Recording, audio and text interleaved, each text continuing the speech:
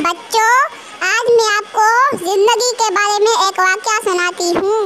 ज़िंदगी में एक ऐसा वक्त आता है जब इंसान कहता है कि अब सारे दरवाजे बंद हो चुके हैं। क्या होगा और कैसे होगा, याद रखें, ये अल्फाज मायूसी के हैं और मायूसी कुफुल है। और कुफुल हमेशा अल्लाह से दूर अल्लाह उसी शख्स को आजमाता है जिसे अल्लाह का कुल्ब हासिल होना होता है। फिर हमें ये मालूम होना चाहिए कि जो हो रहा है सब अल्लाह की इजाज़त से ही हो रहा है।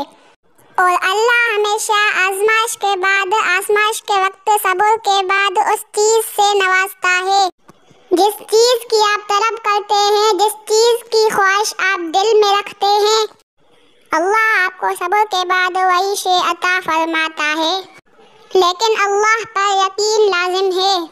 अल्लाह उस बंदे से खुश होता है जो अल्लाह के कामों पर यकीन रखे।